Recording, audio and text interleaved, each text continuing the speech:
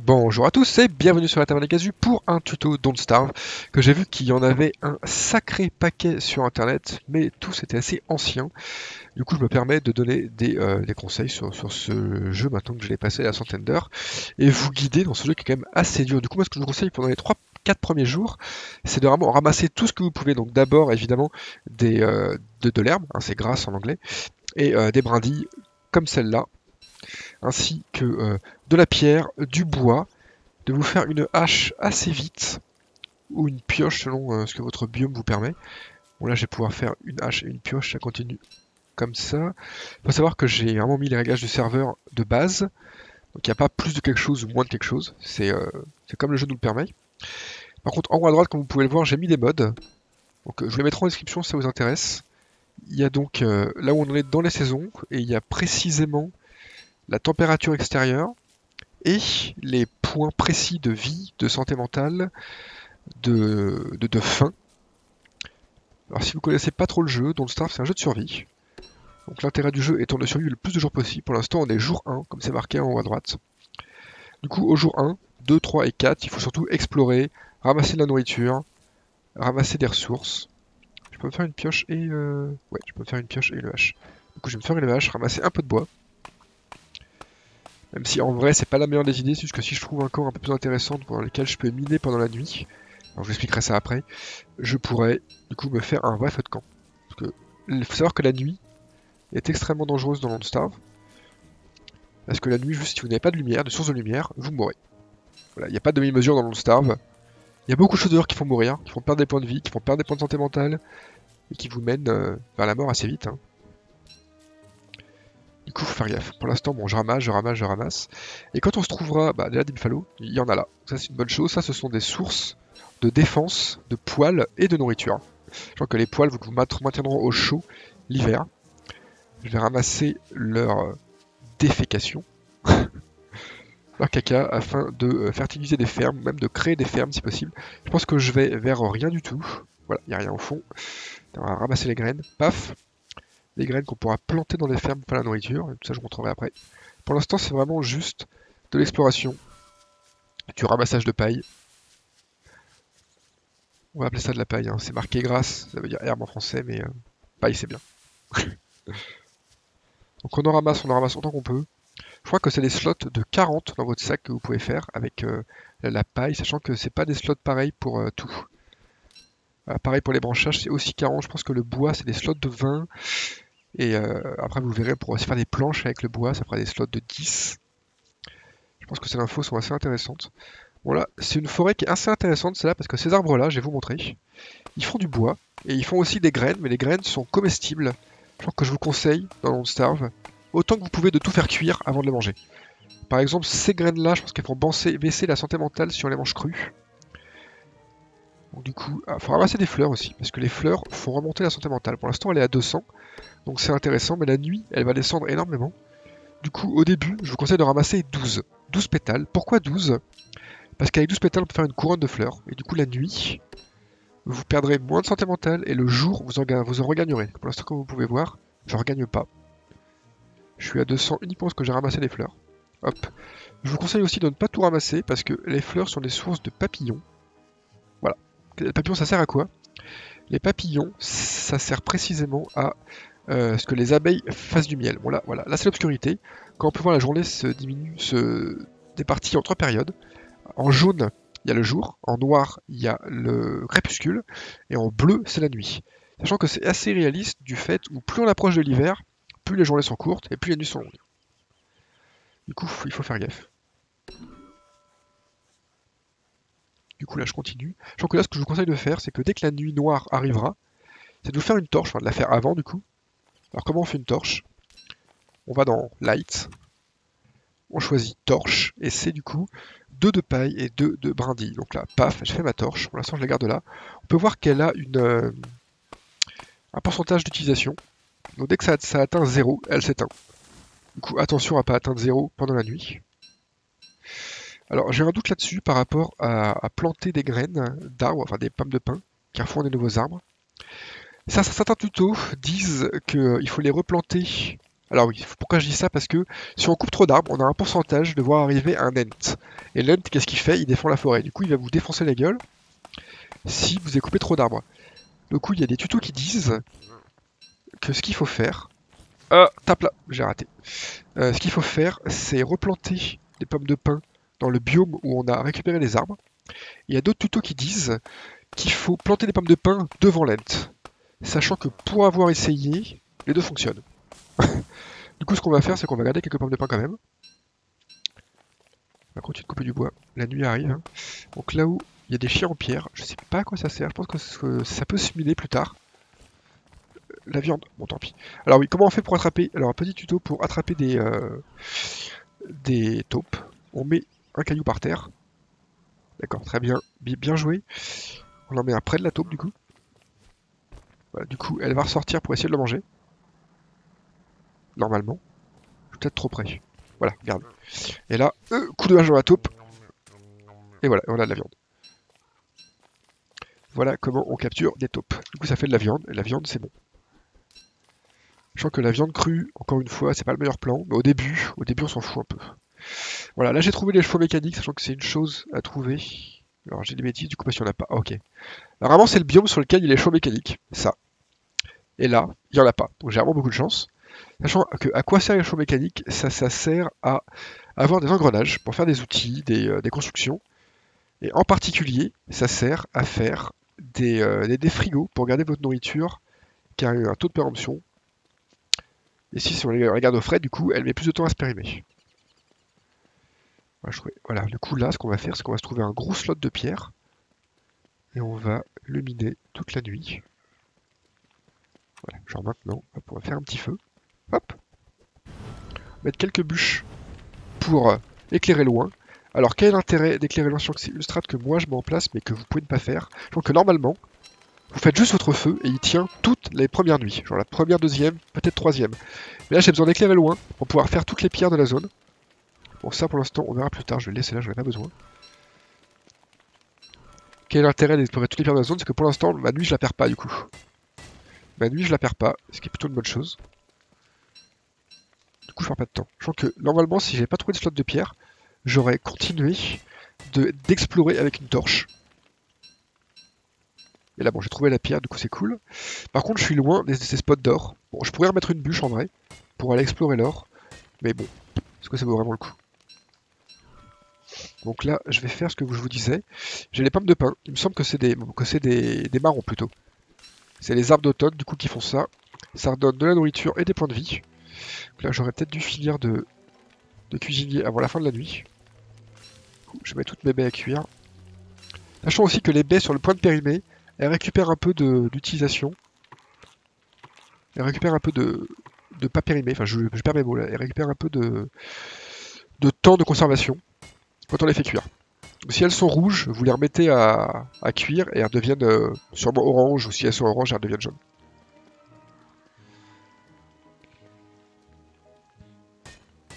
Voilà, donc là on récupère de l'or. Pourquoi de l'or? Ça servira à faire une machine de science ou d'autres genres de choses plus tard. Ce que je vous conseille, c'est que si vous pouvez aussi au début récupérer les ressources des maisons de cochons. Là on a croisé pas mal de maisons de cochons. Et du coup on va aller les casser avec une, avec un marteau. C'est là, c'est dans tout ce qu'on fait, fait tous les outils, hein, en haut à gauche.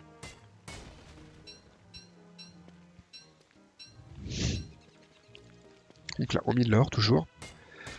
Continue surtout de récupérer des ressources. Ça, ça fera chier plus tard d'aller récupérer encore de l'or, alors qu'on est vraiment juste à côté. Ce que je vous conseille de faire aussi au tout début, c'est de faire une machine de science. Paf, on l'a fait. Alors on va perdre un peu de ressources. Après on est vraiment dans le biome qui donne ces ressources là, du coup c'est vraiment pas grave. On va se faire du coup un marteau, hop. Donc là, c'est bête ce que j'ai fait. Pas faire le marteau tout de suite, c'est pas la bonne idée. Je voulais faire un sac d'abord. Pourquoi faire un sac Pour avoir plus de place pour ranger ce qu'on va ramasser et éviter de dire bah tant pis j'ai pas la place. Hop, voilà, là j'ai fait un sac, c'est génial. Du coup je récupère, il me faut une pelle pour aller déplanter des trucs, donc ils me serviront plus tard, genre des buissons par exemple. Là j'équipe mon marteau que j'ai fait, hop, et je casse la machine de science pour récupérer certaines ressources. Alors on récupère pas tout, il me semble. Je crois que j'ai récupéré deux bûches et deux bois. Et ça coûte 4 euh, bûches et 4 bois. Par contre, j'ai récupéré tout l'or et ça c'est cool. Ça voilà, j'ai mon sac dès le début, ça j'aurais pas de ressources où je me dirais bah tant pis je peux pas les ramasser. Enfin il y en aura sûrement plus tard, hein, parce qu'évidemment je vais ramasser tout ce que je peux. Pour l'instant on est jour 2, on n'a pas ramassé beaucoup de choses intéressantes.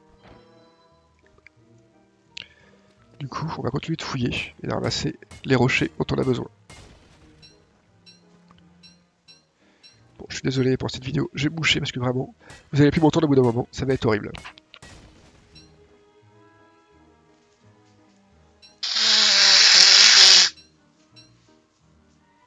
Voilà, et là c'est bien mieux, ma voix devient plus claire. Et du coup, ça pas de m'entendre, j'imagine. Et ça se rebouche. Ok. Il arrive des grands soleils et je suis ce matin enrhumé. Je suis assez content de ça. je sens qu'on est pendant le confinement, du coup c'est vraiment un jeu que je vous conseille. Parce qu'il se joue en ligne, il se joue à plusieurs, il se joue. Euh, on peut créer des serveurs en fait et les laisser ouverts. Du coup, n'importe qui peut rejoindre, ou on peut les laisser fermer comme j'ai fait là pour la vidéo. Ou on peut les laisser ouverts juste à ses amis. Ça vous a pas besoin de demander, juste ils voient le serveur, ils cliquent droit sur vous sur Steam et ils font rejoindre. Du coup, on a largement assez d'or, largement assez de pierres. 42 pierres, ça suffit. 43 de pierres, ça suffit. J'ai ma torche qui est toujours full, ça c'est bien. Alors là, du coup, au début, ce qui est très très bien à faire aussi, c'est de ramasser plein de paille et plein de brindilles. Ça vous ferait plus tard des pièges à lapins. Comment on fait des pièges à lapins On va dans survie et on clique sur piège à lapin. Voilà, qu'il faut 6 pailles. Et j'ai vu 3 brindilles. 2 brindilles. Du coup, ramassons. Vous voyez, il y a des fleurs, je les ramasse pas. Parce que j'ai aucun intérêt à euh, empêcher les papillons de faire leur boulot. Que plus tard, ces papillons, j'en aurai besoin.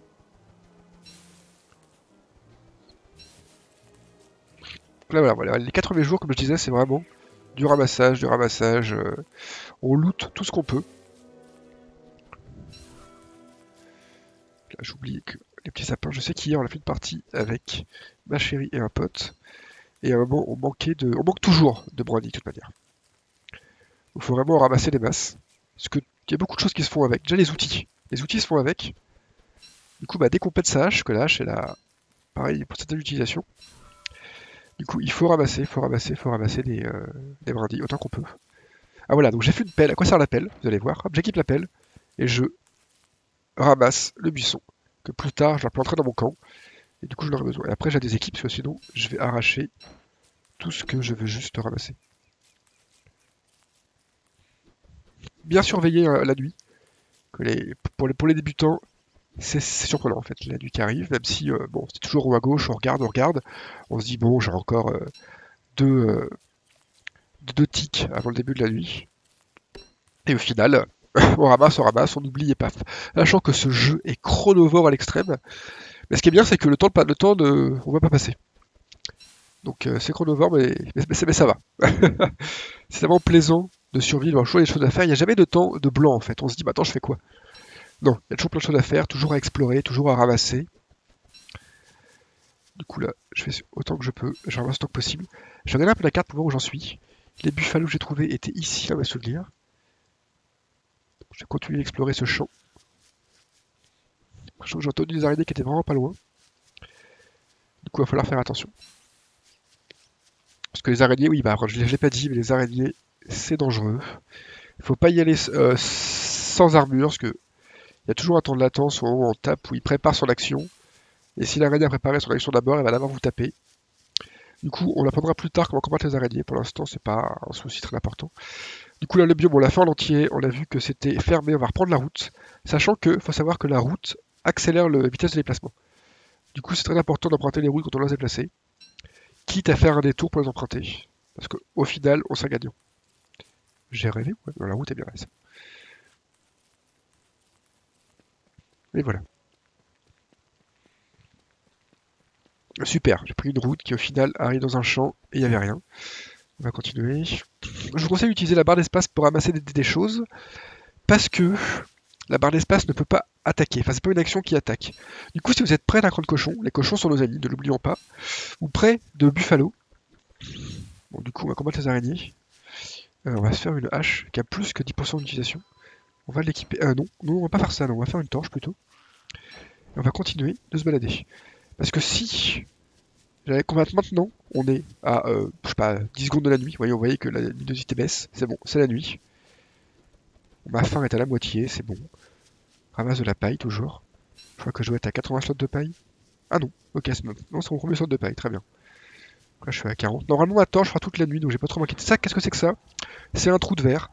Il va nous téléporter automatiquement dans un autre trou de verre sur la carte. Oh alors là, alors là, eh, c'est du pain béni, les amis. J'ai trouvé un casque de buffalo, une lance, des dents, et euh, le casque, il me semble... Attendez. Il n'est pas marqué ce qu'il fait. Mais dans mes souvenirs, le casque, il protège de l'hiver et des dégâts. Ce sera à vérifier quand j'aurai la machine de science. On regardera ensemble. Je pense que j'ai un mode aussi qui indique ce que fait la nourriture. Regardez là. Voilà, ça me donne 10 de... Attends, ça me fait baisser la santé mentale de 10 de manger de la viande? Ok. J'apprends des choses. manger des lapins, c'est assez mal vu. Bon, pour l'instant, la nitrite, on n'en a pas besoin. On va la poser. Pose là, pose là. N'oubliez pas la drop. Ah, la viande crue, pardon, fait penser à santé mentale, on me dit dans mon oreillette. Voilà, j'ai enfin réussi à drop. Bon, j'avais jamais eu ce petit... Euh, c'est pas vraiment un bug, c'est plus... Euh, faire trop d'actions en même temps, du coup le jeu n'a pas apprécié. Donc là, ce champ est interminable, et surtout, il ne mène à rien. Donc on va continuer à explorer le biome de rochers. Donc attention, j'ai vu qu'il y avait des nids avec des œufs dedans. Ça veut dire qu'il y a des autruches géantes. Pour l'instant, j'ai pas trouvé l'intérêt des autruches, à part de me faire défoncer et de ramasser leurs œufs pour faire la nourriture. Bon, ça, c'est de l'eau. c'est un mini glacier, ils disent. Sachant que le mini glacier, si on le casse avec une pioche l'hiver, donc quand il est gelé, pour l'instant, c'est juste de l'eau. Quand on le casse l'hiver, qu'est-ce qui se passe? On ramasse des glaçons. Qu'est-ce que font les glaçons? Alors pour l'instant, je vous le dis, ça, ça, va vous sortir dans une oreille, et, ça va rentrer dans une oreille et sortir par l'autre, parce que pour l'instant, ça ne vous intéresse pas trop. Mais ça remplace les légumes quand on fait des recettes de nourriture. Donc ça, je vous le dirai plus tard. Ne vous inquiétez pas. Quand on fera la gamelle pour faire cuire la bouffe. Pour l'instant, on est jour 3. J'ai pas trouvé grand chose. Cette carte n'a pas l'air au top. Mais c'est pas grave, on continue d'explorer. Et on finira par trouver ce qu'on cherche, c'est-à-dire... Bah, les buffalo, on a trouvé, ça c'est bien. On a trouvé des cochons, c'est bien aussi, mais je n'ai pas trouvé d'engrenage, sachant que jour 4, si je n'en ai pas trouvé, j'irai quand même installer mon camp, ou jour 5. Parce que sinon je prendrais trop de retard. Je sens que pour l'instant c'est pas vraiment du retard, parce que toutes les ressources dont j'ai besoin, je les ramasse. Donc du coup, c'est pas considéré comme du retard, c'est plus euh, de l'exploration. Ah, donc là voilà, j'ai ouvert mon deuxième slot de, de paille. Là il y a un nid d'araignée. Du coup, il s'inscrit automatiquement sur ma carte, comme vous pouvez voir. Voilà, il y a une tête d'araignée, c'est-à-dire qu'il y a un nid dans le coin. Sachant aussi, pour l'instant, tout, ce qui me vient à l'esprit, je vous le dis, que si vous voulez faire plus tard des nids d'araignée, faudra attendre de tomber sur un gros nid d'araignée sans que le nid évolue. Vous voyez qu'il y a à chaque fois, pour l'instant, le nid était tout simple, il y avait juste un nid. Vous pouvez revenir en arrière sur la vidéo si vous voulez le revoir. Et dès qu'il y a des proéminences qui se mettent dessus, le nid évolue. Sachant qu'il y a trois niveaux de nid, le niveau, il y a quatre niveaux de nid, pardon, 3 ou 4. Il me semble que c'est 3 niveaux de nid et que le troisième niveau de nid, c'est 3. Le troisième niveau de nid donne... Euh, et là par contre je suis baisé parce que j'aurais voulu détruire ce... cette maison de cochon. On verra plus tard, c'est pas grave. Pour récupérer ses ressources, en plus j'ai faim. Parce que du coup, si on pète la maison de cochon avec un marteau, on récupère des planches, des culs de cochon. C'est marrant, des culs de cochon. Oh pardon, j'ai une pelle. Et j'oublie de ramasser les, les buissons. C'est mal, c'est mal Alexandre. Ne faites pas ça chez vous. Hop, voilà. On a besoin des buissons pour les replanter plus tard. Sachant que il faudra les fertiliser pour qu'ils redonnent des ressources. Alors comment on les fertilise On met ou du caca dedans, ce que je ne conseille pas, ou du pourri. Comment on fait du pourri? Vous ramassez des baies ou de la nourriture, n'importe quoi, vous la laissez dans un coin, et quand sa durabilité sera réduite à zéro, c'est ça le mot que je cherchais, quand sa durabilité sera réduite à zéro, j'ai fait n'importe quoi, on va le planter, sera réduite à zéro. Vous, euh, on va changer ça. Vous récupérerez du coup du pourri. Non, on ramasse pas la fleur. tant pis, j'ai ramassé la fleur. Voilà, vous voyez le nid, il est tout rond. Il n'a pas de, il n'a pas de d'excroissance, ce qui veut dire qu'il est niveau 1. Ça, j'en ai besoin. Où est ma torche d'ailleurs? Je l'ai fini? J'ai fini ma torche. Ok. C'est mal, Alexandre. Du coup, j'ai pas de torche de secours. C'est mal. Bon là, il y a un village de cochons, un petit village de cochons. Ok, il y a un gros village de cochons. Les cochons sont nos amis, sauf certains. Alors, je saurais pas les différencier, je pensais avant que les cochons blancs pouvaient se transformer en cochons garous. Oui, ils, ils aiment pas, regardez, ils aiment pas la nuit, du coup ils rentrent chez eux, ils allument la lumière, et ces petits bâtards, quand, on se rapproche, ils éteignent la lumière. Donc ils ont beau être nos amis, c'est pas non plus trop trop la grande amitié hein, entre les cochons et nous. Sachant que si vous voulez qu'ils vous aillent combattre, il faudra les nourrir avec de la viande de monstre. Mais que si vous leur filez trop de monstres, trop de viande de monstre, ils se transformeront en cochons garous. Il me semble que c'est deux ou trois viandes en, euh, en même temps. hein. Donc faites attention à ne pas trop les nourrir. Je pense qu'à la fin de la vidéo, jour 4 ou jour 5, on installera un camp à côté des buffalos, parce que pour l'instant on n'a pas trouvé ce qu'on cherchait. Ça, on en a besoin. Je m'arrête pour l'instant quand il n'y en a plus que deux ou trois à la suite. hein. Quand il y en a un tout seul, on perd du temps, donc on s'arrête pas. Bon, le sapling, on en a quand même pas mal. Enfin, les, les brindilles et l'herbe. J'ai besoin de manger. Pas oublier. La carotte, c'est bon, ça fait récupérer 12. Ça, c'est cool. On va bouffer toutes les carottes. Et voilà. Ça suffira. Ah oui, les brindilles, je à côté, autant les ramasser. Paf, paf, du ramassage. J'ai dit plein d'informations, je vous conseille de les retenir parce qu'en vrai, pour l'instant, on s'en sert pas. Mais c'est hyper intéressant de le savoir parce que du coup, ça permet de bien se développer dès le début. Même si on les reverra plus tard quand on le, fera. Du coup, ce sera plus clair. Voilà, j'ai récupéré notre carotte. Hop. Hop, on ramasse toujours des brindilles quand il y en a deux, sinon c'est une perte de temps. Ok, on va retourner dans le champ du sud, que tout le nord-ouest a été exploré. Et il n'y a que de la flotte et rien d'intéressant. Des baies, des baies, des buissons de baies qu'il faut la pelle. Quelqu'un sait où Elle est là, hop. Pelle.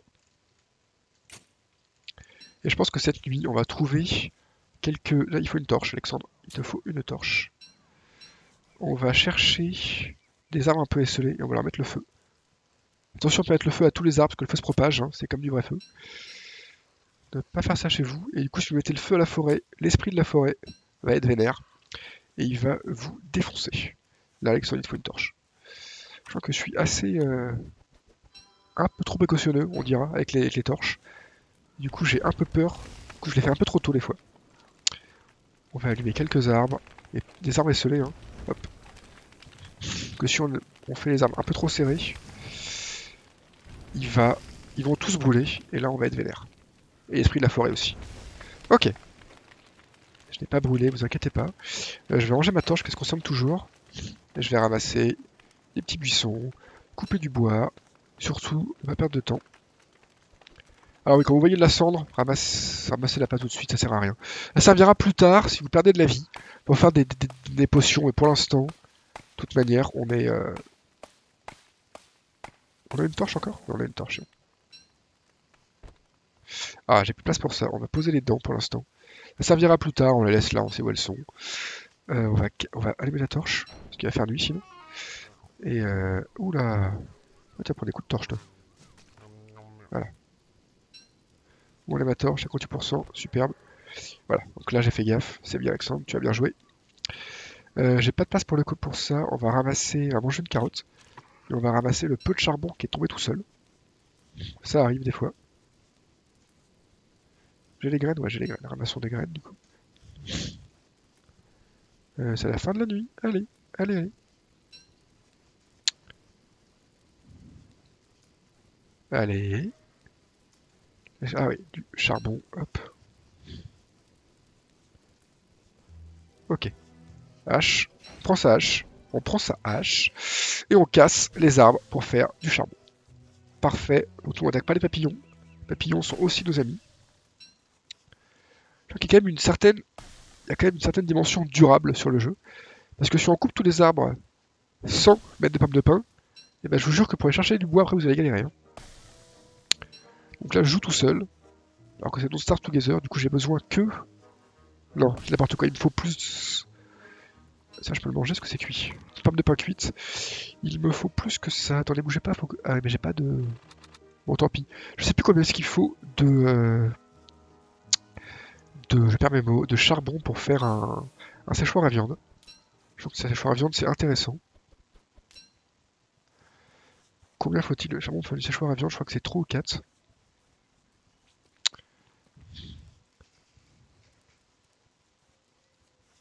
Là, on prend la pelle. On prend la pelle. Ramasse les buissons. On le verra quand on le fera, vous inquiétez pas.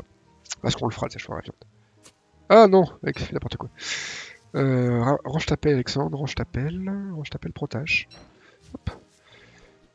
là, on va aller explorer au sud, que pour l'instant, on n'a pas exploré au sud ici, on va prendre la route. C'est malin. C'est malin, Bobby. Prends la route. J'ai dit quelqu'un pouvoir le ramasser, du coup.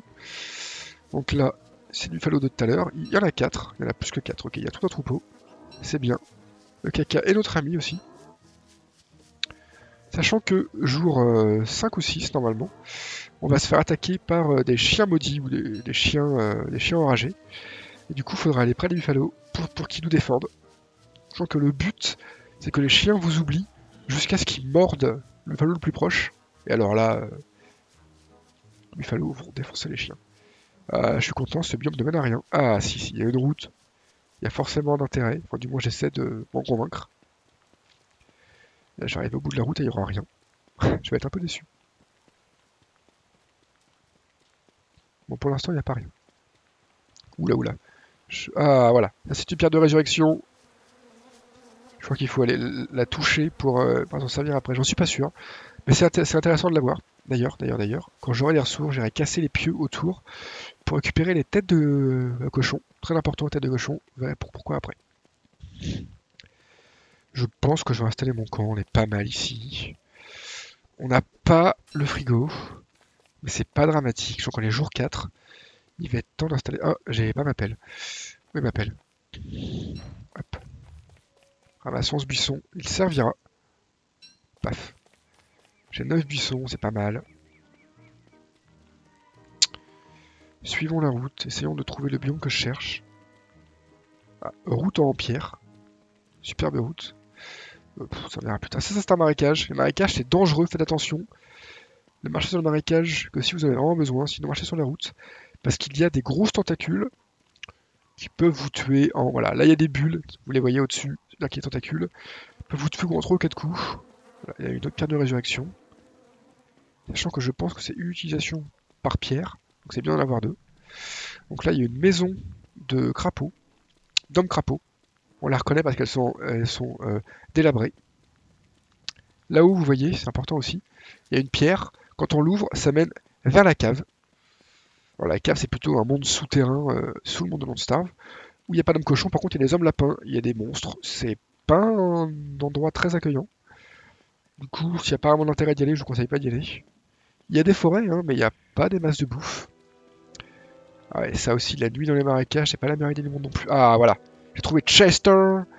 Casquette Chester. Chester, c'est un coffre qui va arriver d'ici peu. Voilà, le voilà. Coffre sur pattes, qui tank aussi les dégâts que les monstres peuvent vous, vous euh, caler. Je n'ai jamais vu de Chester mourir. Donc j'espère que ça restera tout. Voilà, il y a plein de pics à cochon. C'est très bien. Il faudra les casser plus tard quand on partira en expédition. Vous voyez, Tentacule en train de défoncer une araignée. Donc barrons-nous.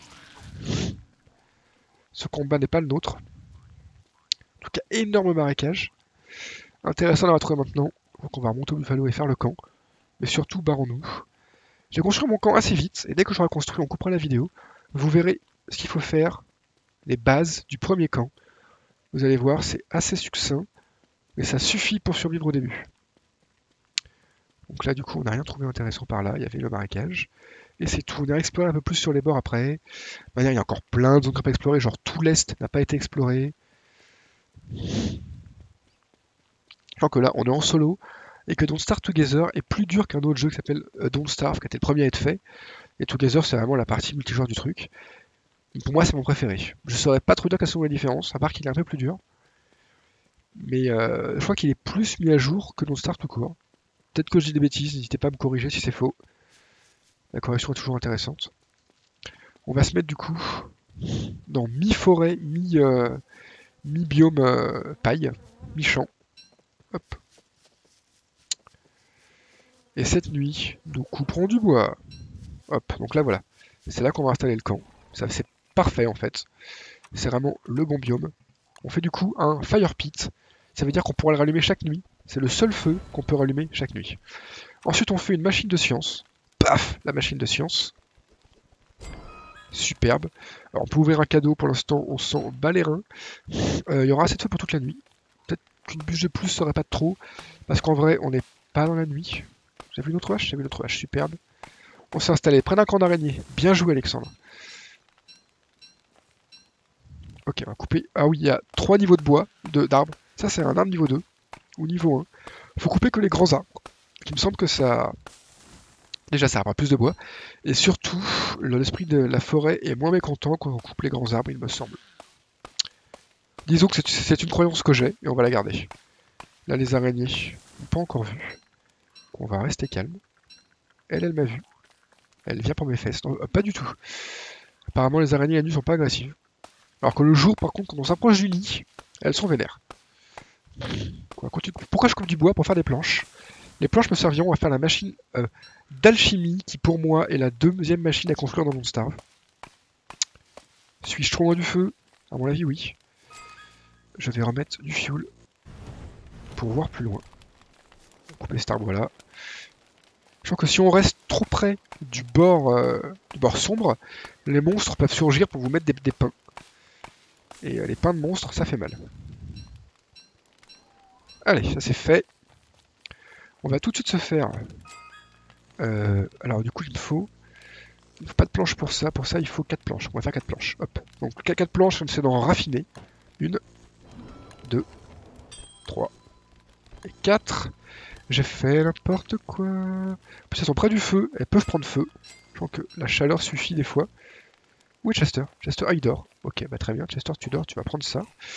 Euh, ça va prendre la machine de science. Donc on fait des blocs de pierre aussi. Il me faut deux blocs de pierre ici, deux blocs de pierre là. Donc quatre blocs de pierre. 1, 2, 3. Attendez, on va poser quelque chose ailleurs, genre le caca dans le Chester. Qui me semble qu'en plus le garder sur soi, le caca, ça fait descendre la santé mentale. Du coup, ne le gardons pas sur soi. 3 et 4. Très bien. Du coup, là, on fait. Il me faut de la place. On va planter des buissons plus tard. Qu'est-ce que je peux poser On peut poser les pommes de pain dans le Chester. Non, Chester, j'ai dit. Hop, là, très bien. Et du coup, on va faire, je disais, deux electrical euh, choses. Et maintenant, on fait la machine alchimie. On l'a fait à côté de la machine de science. Hop, et là, c'est parfait. Euh, quoi d'autre? On va planter les buissons. Pas trop près du camp. Collez-les bien. Parce que plus tard, quand on ramassera les baies, on pourra faire apparaître un dindon. Et du coup, si on enferme le dindon dans une, euh, ferme avec des barrières, on pourra le choper, casser la gueule et récupérer deux pilons de viande. Très bonne chose à savoir. Hop. Donc là, il me faut du caca. Ce qu'on va faire, c'est qu'on va... 1, 2, 3, 4, 9, il y en a 9. On va faire un tas de 9 berries qu'on va foutre là trop près du... Non, beaucoup trop près. Non, c'est pas trop près du feu. La selle, on va les bouffer parce qu'on a faim. J'ai fait n'importe quoi. Enfin, d'abord qu'on fasse le croque-pot, pardon. Donc là, on va aller dans Food. Il me faut trois pierres taillées pour faire un, une mijoteuse. Crois que moi, je dis croque-pot parce que j'ai le jeu en anglais. Il existe des patchs, si vous le souhaitez, pour... Euh, enfin, il existe des... Pardon. Des modes pour avoir le jeu en français. Faites comme vous le souhaitez, il n'y a pas de euh, préférence. Hop, donc là j'ai fait une mijoteuse. À quoi ça sert de faire un croque-pot? C'est de mettre de la nourriture dedans. Hop, hop. Ce que je vous conseille, c'est de mettre une viande et euh, trois légumes. Sens que, comme je vous disais, la glace compte comme des légumes. Ou des fruits, peu importe. Hop, on va cuisiner ça. On va poser nos berries par terre et attendre qu'elles périment. Euh, là on a faim, du coup on va attendre le croque-pot en coupant du bois. Parce que bon, pas perdre de temps pour rien. Ah, plus de hache. Nouvelle hache. Et d'ailleurs, on va arrêter cette vidéo maintenant, parce qu'on est jour 5. Voilà, 5 jours, c'est une bonne vidéo. Vous avez appris plein de choses qui vous serviront à survivre dans Non Starve. Manger les boulettes de viande. Je pense que les boulettes de viande, c'est le meilleur ratio qu'on puisse avoir. Donc c'est 62 de nourriture. Paf, on monte à 80. Et du coup, les amis, je vais vous laisser. Quand on fait une boulette de viande, je vous le rappelle, c'est 1 de viande, 3 de nourriture, 3 de légumes. Et ce que je vous conseille aussi, c'est d'utiliser une viande de monstre uniquement faites un croque-pot avec trois légumes. Pas plus qu'une viande de monstre en croque-pot. Pourquoi? Parce que sinon vous allez perdre de la vie. Voilà les amis, c'est tout pour cette vidéo. J'espère que ça vous a plu. N'hésitez pas à vous abonner, à laisser des commentaires et surtout à laisser des commentaires. Merci à tous et à bientôt.